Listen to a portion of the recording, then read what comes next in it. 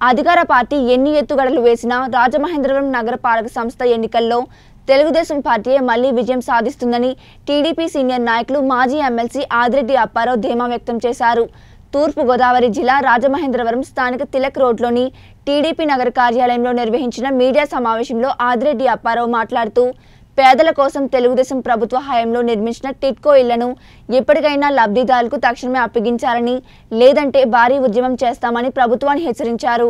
కమ్యూనిటీలో ఉండాలి అనే భావంగా ఆ రోజు చంద్రబాబు నాయుడు గారు పేదల కోసం నిర్ణయం తీసుకోవడం జరిగింది. అయితే తర్వాత జగన్మోహన్ రెడ్డి గారు నాకు అవకాశం వస్తే ఐదు వందలు కట్టినోడికేమో రెండు అరవై ఐదు ఫ్రీ చేస్తాను. మిగతా ఓడి కట్టుకోవాలి మిగతా ఓడి బ్యాంకు లింకేజ్ పెట్టుకోవాలి అన్నారు సరే ఇన్నాళ్ళు కూడా ఆనాడే చాలా మటుకు ఇల్లు బ్రహ్మాండంగా షేర్ వాల్ టెక్నాలజీ తోటి కట్టడం జరిగినాయి. అవన్నీ చూస్తే చాలా కాస్ట్లీ ఇల్లులా కడతారు. ఇంకా ఇన్ఫ్రాస్ట్రక్చర్ విషయం వచ్చేటప్పటికి ఆగింది ఎలక్షన్లు వచ్చినాయి. ఇప్పుడు ఈయన ఆ ఈ మూడేళ్ళు అవుతున్న ఆ ఇళ్ళని ఎవరికి కూడా గృహప్రవేశం డిసెంబర్లో చేస్తాను జనవరిలో చేస్తానని ఇప్పటి వరకు కూడా ఎవరికి చేయలేదు.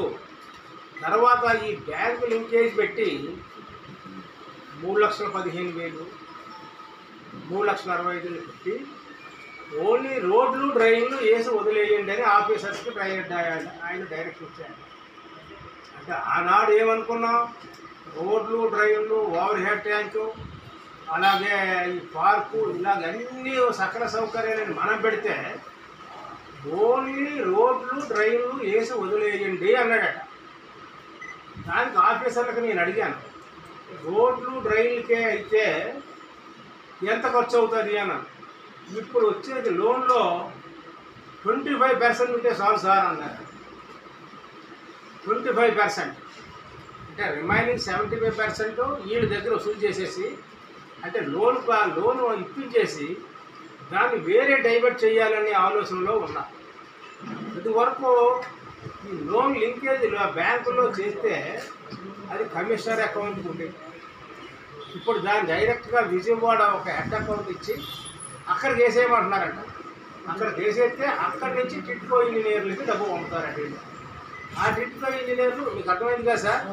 కమిషనర్ దృష్టిలోకి రాదు. డైరెక్ట్గా అక్కడ అకౌంట్ పెట్టారు ఈ దొంగ కార్పొరేషన్లో. అందులోకి వెళ్ళిపోతుంది డైరెక్ట్గా. ఆ వెళ్ళిపోయిన దాన్ని వీళ్ళు టిట్కో ఇంజనీర్లు సపరేట్గా వాళ్ళది లాలాచెరువు ఆఫీస్ ఉంది. వాళ్ళు మేము ఇంత కడుతున్నాము అని అంటే వాళ్ళు దయాదాక్షుల మీద రిలీజ్ చేస్తాడు. రీఎంబర్స్ చేస్తాడు. అయితే అది సిస్టమ్ పెట్టారు. అయితే ఇప్పుడు మేము అడిగేది ఏంటంటే మీ ద్వారా ట్వంటీ ఫైవ్ పర్సెంట్ ఉంటే ఆ చెప్పే మౌలిక సదుపాయాలు సరిపోతున్నప్పుడు according to the estimations of the office concern officer remaining seventy five percent ఇప్పించి ఎందుకు ఈ పేద ప్రజల దగ్గర నెలసరి వాయిదాలు మీరు కట్టిస్తారు? మా ప్రశ్న. అంటే పేద ప్రజల దగ్గర గవర్నమెంట్కి అప్పిప్పించి అంటే బ్యాంకు ద్వారా అప్పిప్పించి ఆ అప్పునేమి మీ సొంతానికి వాడుకోవడం చూస్తారా? ఇప్పుడు గ్రహించారు టిట్కో ఇళ్ళు గ్రహించి మాకు ఎంత ఉందో చెప్పండి మీకు ఏ మౌలిక వస్తువులు కల్పిస్తారో చెప్పండి అని నిలదీస్తున్నా. ఎవరైనా అలా నిలదీస్తే ఈ వాలంటీర్లు ఏమంటున్నారంటే మీకు బ్యాంకులో లోన్ ఇప్పించడానికి మీకు సివిక్ సివిక్ సరిపోలేదు. స్కోర్ స్కోర్ సరిపోలేదు. మీకు లోన్ శాంక్షన్ అవ్వదు. మీరు మొత్తం డబ్బు కట్టేయండి అంటున్నారు. అంటే మూడు లక్షల పదిహేను వేలు మూడు లక్షల అరవై ఐదు వేలు ఇమీడియట్గా క్యాష్ కట్టండి అని బెదిరిస్తున్నారు వాళ్ళకంట లోన్ వచ్చే అర్హత లేదు అట. అంటే పేదవాళ్ళకే ఏ అర్హతలు కావాలండి మీకు? పేదవాళ్ళని ఏ అర్హతలతో ఇద్దామని అనుకున్నారు మీరు?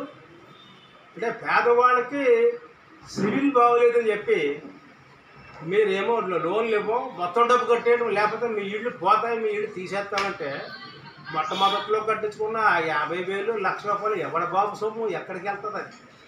అందుకనే దీని మీద మీరు లోన్లు ఎందుకు ఇవ్వరు? బ్యాంక్ మేనేజర్లతో నేను మాట్లాడతాను. వాళ్ళు అంటారు మేమేమి అలాంటి నిబంధనలు పెట్టలేదండి. పేదోళ్ళు ఏముంటుంది? ఆ సివిక్ బాగోవడానికి వాళ్ళ దగ్గర ఏ ఆస్తులు ఉంటాయి? ఎప్పుడో వాళ్ళు మన మహిళా సంఘాల ద్వారా లోన్లు తీసుకుంటే అది ఈజీ ఇన్స్టాల్మెంట్ కడతా ఉంటారు. అందులో లోన్ ఉంది కాబట్టి ఇంకో లోన్ ఇవ్వం మీకు. అంటే ఆ- రోజు మహిళా సంఘాల ద్వారా లోన్ తెచ్చుకొని కట్టుకుంటుంటే ఆ గవర్నమెంట్ ఫెసిలిటీ ఇస్తే ఈవేళ అక్కడ లోన్ ఉంది కాబట్టి ఇక్కడ ఇంకో లోన్ ఇవ్వం. అంటే అర్జెంటుగా క్యాష్ కట్టేస్తే ఇన్స్టాల్మెంట్ లేకుండా లాంసంగా పెద్ద అమౌంట్ వచ్చేస్తే ఈ జగన్మోహన్ రెడ్డి గారు దాన్ని వాడేసుకుందామని ఆయన అవసరాలకు వాడుకుందామని ఈ ప్లాన్ వేసింది ఎప్పుడూ లేదు ఈ ప్లాన్. ఏంటంటే పేదవాళ్ళకి ఏమైనా సివిల్ రేటింగ్ ఉంటుందండి అక్కడ సివిల్ రేటింగ్ ఉండి అప్పులు తీసుకుంటే మహిళా సంఘాల దగ్గర అప్పులు తీసుకునే వాళ్ళకి సివిల్ రేటింగ్ చూస్తే వాటికి దానికి అప్పులు ఎందుకు? ఇది ఈ వేలో ఉండడం. కాబట్టి ఇది దారుణాతి దారుణమైన విషయం. ఈ టిటికోయిళ్ళ విషయంలో ఎవరికైనా సివిక్ బాగోలేదు. మేము ఇవ్వంటే ఎందుకు బాగోలేదు? మాకు చెప్పండి నిలదీసే పరిస్థితి. నా దగ్గరకు మన పది మంది వచ్చారు లేడీస్. ఇదేంటయ్యా? మేము కాదు కాదు కూలి పని చేసి బతికే ఓట్లు మా దగ్గర సేవింగ్ ఏముంటుంది? మా దగ్గర ఏముంటాయని వీళ్ళు